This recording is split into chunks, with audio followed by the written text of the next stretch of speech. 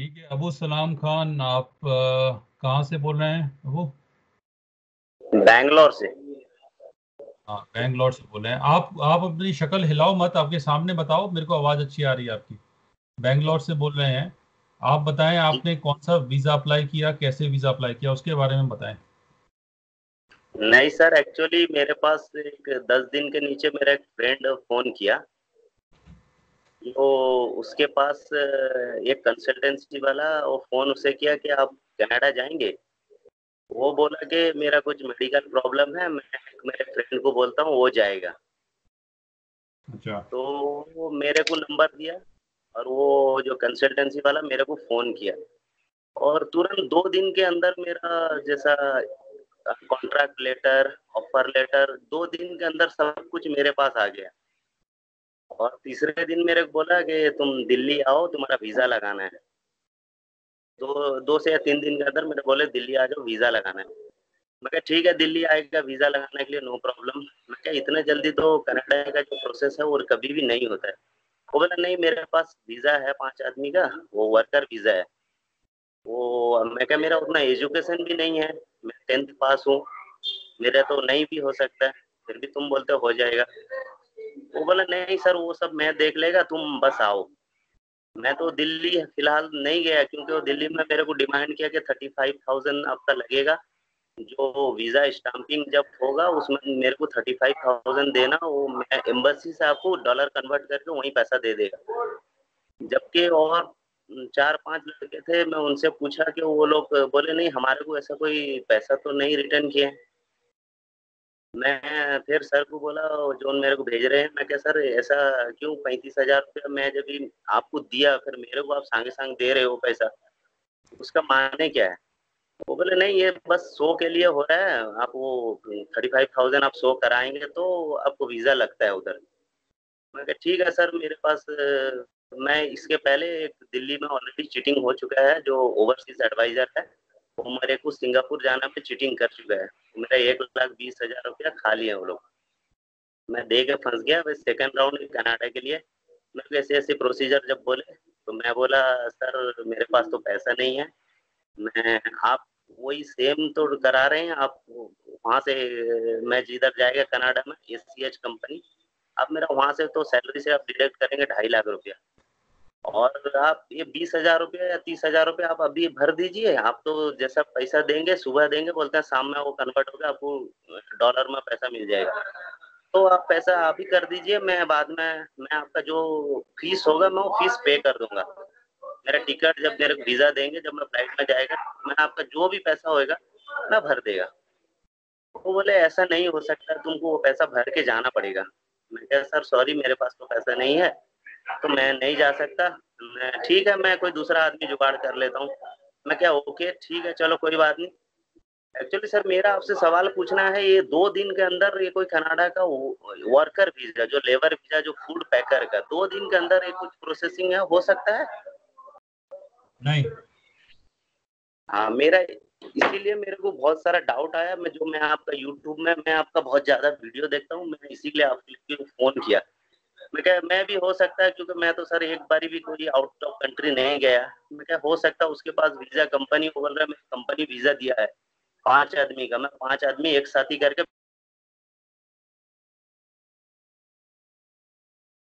आपकी आवाज़ कट गई भाई साहब कट रही है आपकी आवाज़। हाँ सर वो कोई कॉल आ गया उसके दौरान दौरान तो इसीलिए आवाज़ कट रही है। अच्छा अच्छा। तो ये जो आपने जो कहानी बताई है इससे हाँ। से आपको खुद ही मालूम पड़ गया कि इसमें लोचा है। दो दिन में तो वीज़ा कोई वीज़ा कोई ऐसी चीज़ नहीं है कि नींबू की शिकंजी है सवेरे अपने जूस बनाया शाम तक वो अपने तैयार होकर निकल आई जो बन गया वीज़ा आ गया लेके चले जाओ। वीज़ा नहीं वो सर वो मेरे को क्या बोले पता है?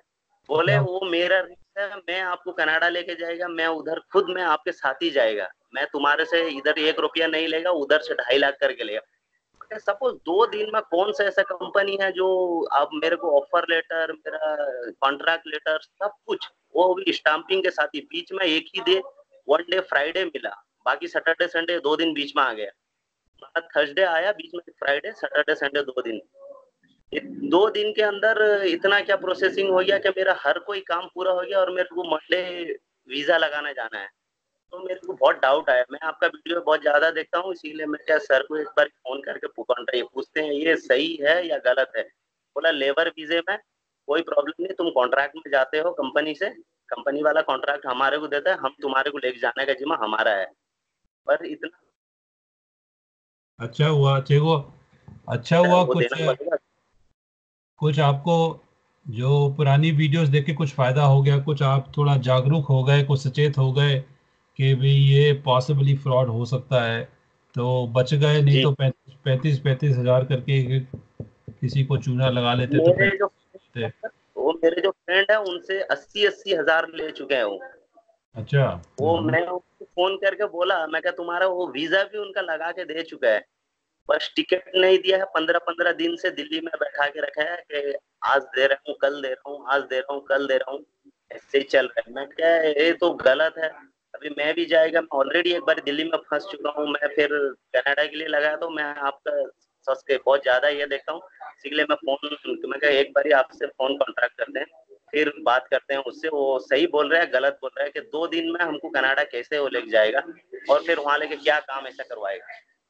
हम्म, अच्छा हुआ आप बच गए और दो तीन बातें मैं आपको रिपीट कर दूँ बाकी तो सारे वीडियोस में मैंने पहले ही इसके बारे में बात करी हुई है कि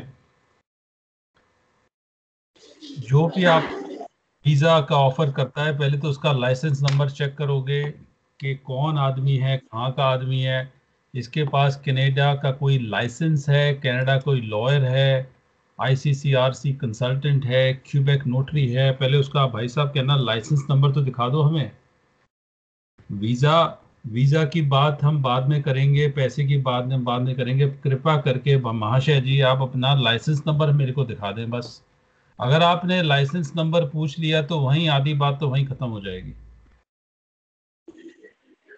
और, और भी कुछ सर वो जो C I C Canada log in dot com ये कुछ वो खुद अपने क्रिएट करे हैं आई थिंक मेरे को बोले देखो तुम्हारा गूगल खोलो गूगल में C I C Canada dot com जो है उसमें जाके क्रिएट करो तुम्हारा पासवर्ड वो खुद भेजे मेरे को पासवर्ड इसमें देखो तुम्हारा पेपर पूरा ये है। मैं कोई मेरा दोस्त आईटी कंपनी में काम कर रहा है तो उसे पूछा मैं क्या ये सब ऐसा हुआ है ये सही है गलत? कहता है ये तो कोई भी क्रिएट कर सकता है। सकते हो तुम्हारा पूरा डिटेल्स रखा है वो अकाउंट खोल दिया। हम्म। आजकल आजकल देखो ये वेबसाइट बनाना कोई मुश्किल नहीं है। वेबसाइट कोई भी बना देगा कोई भी लोगो चिपका देगा कोई भी कैसा भी कोई सर्टिफिकेट बना देगा वो सब ठीक है। बाकी दुनिया कर रही है और सब कर रही है। आपको मैं सिर्फ़ इतना ही कह रहा हूँ और आपको मैं बधाई भी दे रहा हूँ कि आप फ्रॉड से बच गए। और ऐसे ही कितने ही फ्रॉड रोज के रोज हो रहे हैं, हर एक जगह, सिर्फ़ इंडिया में नहीं, हर एक जगह हो रहे हैं कनाडा में भी हो रहे हैं।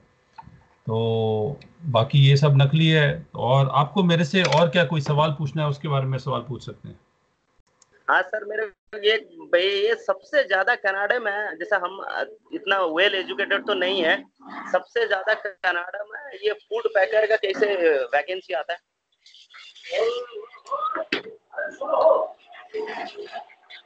सर जी, जो जो वैकेंसी आता, नहीं आता, मेरे को कुछ नहीं मालूम इसके बारे में, क्योंकि मैं ऐसी वैकेंसी से डील नहीं करता हूँ मैं। मेरा कोई लेना देना नहीं है, किसी इस तरह की वैकेंसी से डील करना तो अगर कोई आपको कोई जॉब ऑफ़र देता है तो आप कृपा करके मेरे को जॉब ऑफ़र दिखा दें मैं आपको बता दूँगा उसमें क्या है। एक्चुअली मेरे मेरे पास तो अभी इतनी सारी इंक्वायरियाँ ऐसी आती हैं जॉब्स की कि मैं, मेरे को देखने की ज़रूरत ही नहीं पड़ती। मैं आपको दो बातें सुनकर ही पता लग जाएगा कि उसमें अंदर कि भाई असली चीज़ निकलने वाली है कि नहीं है।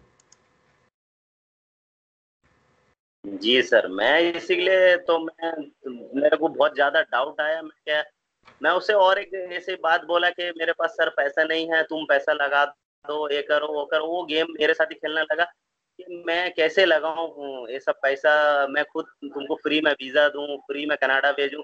मैं कहा, सर फ्री में किधर भेजे? आप तो मेरे से ढाई लाख रुपए सैलरी से कट कर रहे हो और बीस हज़ार की बात है, वो बीस हज़ार में आप मेरा सही जेन्यून काम करा दो। मैं बीस के हज़ार हज़ार के बदले पचास हज़ार आपको दे के जाएगा। तो फिर इसमें फ्रॉड वाली तो कोई बात ही नहीं है। क्या मैं जाएगा मैं एक कंपनी में काम करता हूँ मेरे नीचे मेरे साथ में 600 वर्कर काम करते हैं। वो भी अच्छे अच्छे वेल एजुकेशन वाले भी हैं ये भी हैं। आपको जितने आदमी चाहिए मैं देगा। हम्म। वो बोला ठीक है मैं आपसे बाद में बात करता हूँ। बस अब क्या बात करें भाई साहब आप अबू सलाम आप बेंगलोर में रह रहे हैं आप आराम से बैठे हैं। जब तक आपको असली जॉब ना मिले तब तक हिले ना। यही मैं कह सकता हूँ आपको। और बाकी इनशाला आपको कोई जॉब भी मिलेगी कोई जेनुअन जॉब भी मिलेगी। जी सर। और सर मैं जैसा अभी मेरा एजुकेशन उतना नहीं है मैं जैसा ट्वेल्थ पास हूँ। सपोज़ मैं कनाडा जा सकता हूँ कोई सा भी वीज़ा में मेरे लिए एप्लीकेबल कौन सा वीज़ा हो सकता है? सर जी ये जो बात आपने करी इसकी बात को शुरू करना कहाँ से शुरू करें कहाँ खत्म होगी बात? ये वीज़ा कौन सा आपके लिए नहीं है? आपको जब जॉब कोई मिलेगी तब मेरे को आप अप्रोच करें। कोई भी अगर आपको जॉब ऑफ़र देता है ना हाँ, तो आप फिर मेरे को अप्रोच करें और फिर उसके बारे में देखेंगे शिनाख्त करेंगे कि भाई वो जॉब सही है असली है कि नहीं है। इस वक्त वीज़ा की कैटेगरियाँ हज़ारों कैटेगरियाँ हैं वीज़ा की कैनेडियन सिस्टम में। कौन कौन से वीज़ा के बारे में बात करेंगे?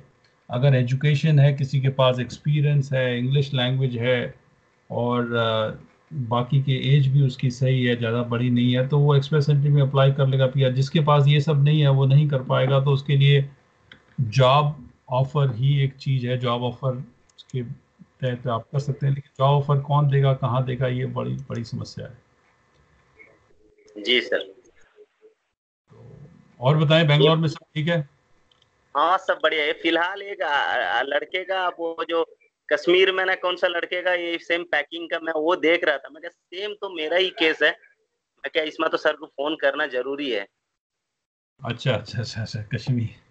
मेरे पास तो हिंदुस्तान के हर एक प्रांत से आ, मेरे को कॉल करते हैं और इससे मालूम पड़ता है कि जो जॉब देने वाले एजेंट हैं वो कोने कोने में बैठे हुए हैं। सिर्फ़ नॉर्दर्न बेल्ट में नहीं है all over all over India बैठे हुए हैं और बाहर भी मिडिल ईस्ट में भी बैठे हुए हैं। तो जहाँ से जो आदमी फंस जाए, बस वही है उनका। तो चलिए, बहरहाल बड़ी खुशी हुई मेरे को आपसे बात करने के बाद और आप खुश रहें, वहाँ पर आबाद रहें। एक प्रोग्राम में देखता हूँ, बहुत शौक से देखता हूँ, सावधान इंडिया क्राइम पेट्रोल वाला। तो उससे मैं, जब वो कहते हैं कि आप सुरक्षित रहें और होशियार रहें सावधान रहें। तो मैं आपको कहता हूँ और आपके माध्यम से और लोगों को कहता हूँ कि आप इमिग्रेशन की दुनिया से भी आप सावधान रहें सतर्क रहें और अपने आप को फ्रॉड से बचाएँ। Thank you sir thank you very much for your time brother thank you take care खुदा खुदा हाफिज़।